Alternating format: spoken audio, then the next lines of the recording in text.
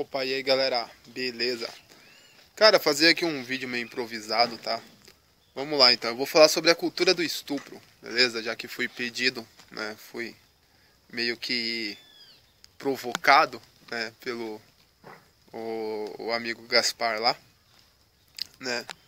Vamos lá então, é, vou deixar aqui minha, o que eu penso logo no começo por causa dos haters, tá? Então vamos lá, primeiramente, homens são estrupadores em potencial sim, Tá? E não vou dar a minha opinião né, sobre o estupro lá no Rio de Janeiro, mas foi um estupro sim, tá? Mas eu não vou dar minha opinião do que aconteceu, beleza? É, e cultura do estupro não existe no Brasil, tá? Beleza? Essa é a minha opinião.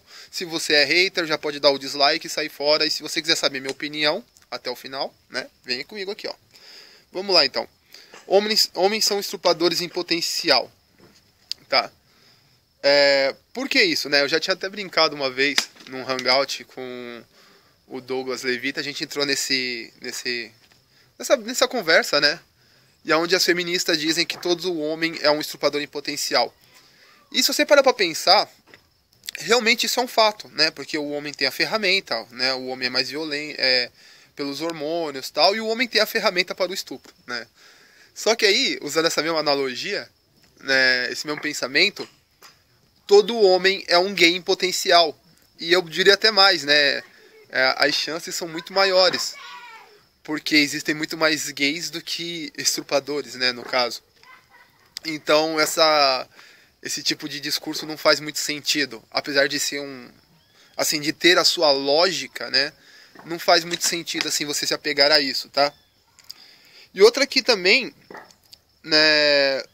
Esse discurso, ele aumenta o sexismo né, é complicado isso, porque você ficar jogando mulheres contra homens, né? Vamos supor, você fica colocando isso na cabeça das mulheres. Ah, todo homem é um estuprador de potencial, todo homem é um estuprador de potencial. É, isso faz com que as mulheres olhem para um homem né, e já pensem nisso na hora. Então fica complicado né, você trabalhar com isso, sendo que os dois têm que trabalhar junto nesse caso. E lembrando né, que eu vou chegar aqui. Peraí, vamos lá, depois eu falo isso aí. É, então, eu não vou dar minha opinião sobre o que aconteceu lá no Rio de Janeiro, porque é o seguinte, tem muita informação, tem muitos áudios, eu cheguei a ver os áudios, eu não vi o vídeo, mas eu vi, né, pelas reportagens e tal. Né, e pelos áudios você fica numa coisa meio contraditória, o vídeo já mostra outra coisa, né, não mostra os atos, né, o vídeo nem uma foto, pelo menos que eu fiquei sabendo, não mostra o ato em si, mostra depois. Mas eu afirmo que foi estupro sim, porque o que acontece? Aí vai depender do que você considera estupro. Beleza? No vídeo, pelo que eu vi, né, pela a imagem lá, aparentemente o rapaz toca na menina nas partes íntimas dela quando ela está desacordada. E isso já é estupro. Beleza? Então, estamos resolvido isso. Então, foi um estupro sim. Beleza? Vamos passar para o próximo. É, que é a cultura do estupro, né? O que eu ia falar do negócio do sexismo. Né? No Brasil, gente, sinto muito, mas não, não existe cultura do estupro. Tá? No Brasil, um estuprador não é bem visto. É por isso também que eu fico meio na dúvida do, do que aconteceu lá. Né? Por um lado, tem sim né, vários motivos para você acreditar que foi um estupro, e por outros também não. Né? O próprio fato do deles divulgarem né, em redes sociais o acontecido, já me parece assim, ou os caras é muito burro, tá ligado? Ou eles realmente, né, não estruparam ela, né, até então, antes da filmagem. Né, o ato dos 30 lá, tal, foi consensual. Então fica essa, ou foi consensual ou eles são muito burros, né, de fazer isso, porque todo mundo sabe o que acontece com estrupadores no Brasil, né, não são coisas boas.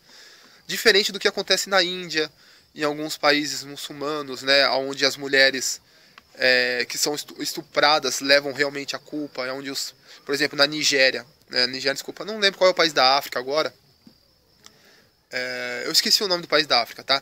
Lá o, o pessoal é, comemora o estupro, inclusive de homens, né? Eles fazem, tipo, contam quantos eles foram. É tipo conversa de bar, entendeu? Tipo, ah, hoje eu saí e estuprei uns dois caras e mais uns dez mulheres, entendeu? Isso é conversa lá, isso é cultura do estupro. E aqui no Brasil não tem cultura do estupro muito, tá? Bem, galera, eu terminei meu vídeo. Essas são minhas opiniões. Foi rapidão, tá? Porque eu tô meio sem tempo de ficar gravando o vídeo. E é isso aí, galera. Tá? Até a próxima. Fui.